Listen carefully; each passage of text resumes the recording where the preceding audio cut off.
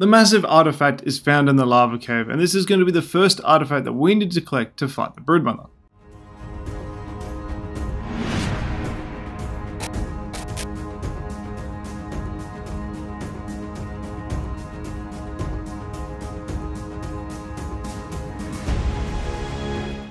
To successfully navigate this cave, I recommend a high level baryonyx with a saddle that is better than primitive, and ghillie armor to deal with the heat, as well as an otter to help reduce the overall impact of the heat, but most importantly to grab two artifacts instead of the one.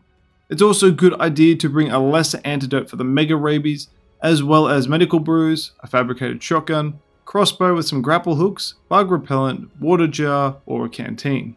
Finally, the dangers that you're going to be facing in this cave are going to be the Araneos, the Dillos, the Onyxes, the Scorpions, the Dung Beetles, and the Lava. But there's also the chance of a Megalania and a Megalosaurus spawning as well.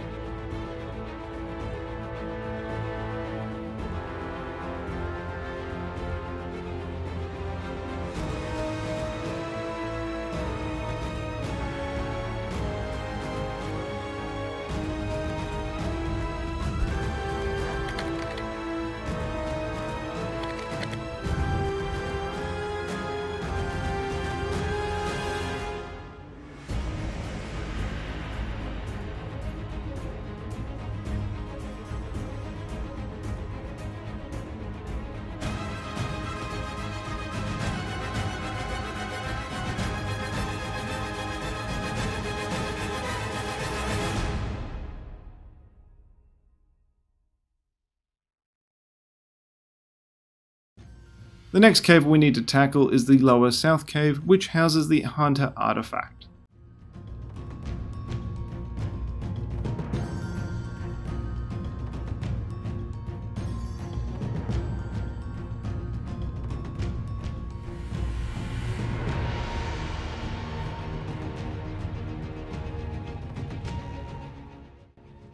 Again, I recommend a high level baryonyx with a better than prim saddle, some flak armor, and an otter as well as brewing lesser antidotes to combat the Mega Rabies if Megalania spawn, medical brews, fabricated shotgun, stimulants, and bug repellent. The dangers that you are going to encounter in this cave are Arthropleuras, Araneos, Megalanias, Megalosauruses, dung beetles, scorpions, piranhas, sarcos, and titanoboas.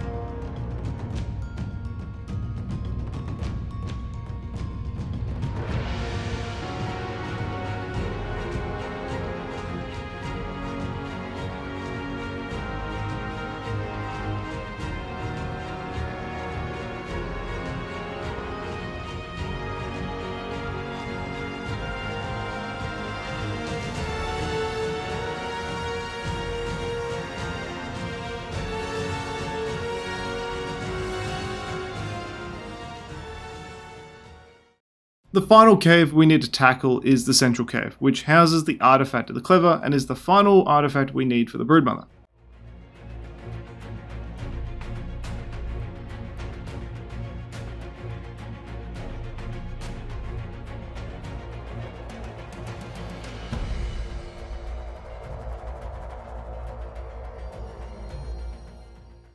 Once again, I recommend a high level Baryonyx with a better than primitive saddle and at least 2 to 3 pairs of flak armor, an otter, some lesser antidote, medical brews, fabricated shotgun, stimulant, and bug repellent.